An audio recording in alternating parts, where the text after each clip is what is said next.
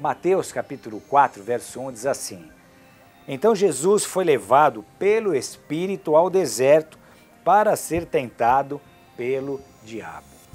Esse é um texto muito interessante porque todos nós temos desertos em nossas vidas e a aridez das fases em que nada parece acontecer, em que a realidade diverge tanto daquilo que cremos, da promessa que nos foi feita, em que o tempo para as coisas acontecer parece se alongar demais, o período em que parece que também o céu se fecha, que nós não escutamos a voz de Deus, os nossos desertos. O texto diz que Jesus foi levado pelo Espírito. Em outras palavras, Deus permitiu e Deus conduziu Jesus ao deserto para que ele pudesse ser provado. Que sentido há em algo assim? Perceba que isso ocorre antes do ministério de Jesus começar, antes de Jesus se revelar ao mundo.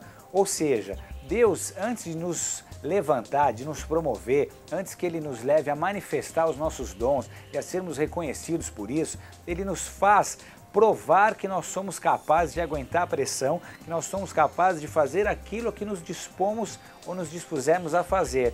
Se você analisa o que aconteceu com Jesus no deserto, você vai perceber que pela sua intrepidez, pela sua ousadia, pela sua fé, pelo seu posicionamento, pelo seu conhecimento de palavra, ele é aprovado. E depois passa a glorificar a Deus através de sua obra. E não vai ser diferente conosco. Quando Deus escolher nos levantar e nos usar, Antes, ele vai nos fazer passar por testes, e um dos testes é esse, é o teste do deserto. É quando você se sente sozinho, é quando nada do que as pessoas te dizem parece surtir efeito, é quando você entra numa igreja, escuta uma pregação e essa pregação parece não mexer com você, é quando você entra num congresso para escutar Deus e no mesmo congresso em que em outras vezes você foi tão abençoado, nada parece te sensibilizar, é quando você lê a Bíblia e essa leitura passa a ser enfadonha porque parece que Deus não está dizendo nada. São fases em que Deus te deixa ali de banho-maria e você tem que provar que a sua lealdade, que a sua fidelidade, que a sua fé vão perseverar, vão atravessar períodos como esse.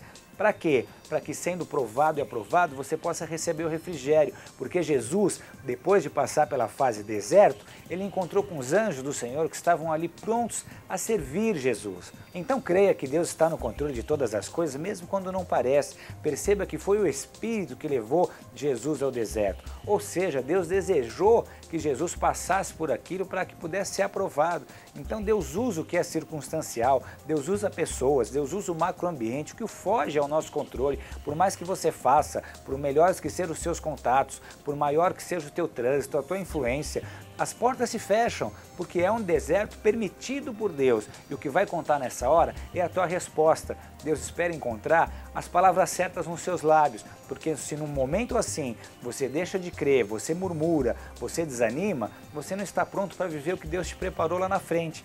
Deus tem permitido coisas assim para te forjar. Teu caráter está sendo aperfeiçoado. Deus está te transformando numa pessoa melhor, mais madura, mais eficiente, mais experiente. Então creia que Deus está te sustentando, que Deus está te carregando no colo, porque você precisa do deserto mais do que o deserto precisa de você. Deus está te forjando como um guerreiro, com um, com um espírito de fortaleza, para que ali na frente se mostre o sentido e a razão de todo o treinamento que você recebe no deserto. Deus está te forjando, Deus está te preparando, não retroceda, ressuscite os teus sonhos, renove as tuas forças, espere em Deus, busque a Deus de todo o seu coração, ore em nome de Jesus, clame a Deus e você vai ver que as peças vão se encaixar num período próximo e você vai falar como eu precisava daquilo, como foi importante para mim, quanto eu cresci ali, quanto eu aprendi, quanto eu me aproximei de Deus. Essa é a intenção de Deus ao nos conduzir a desertos.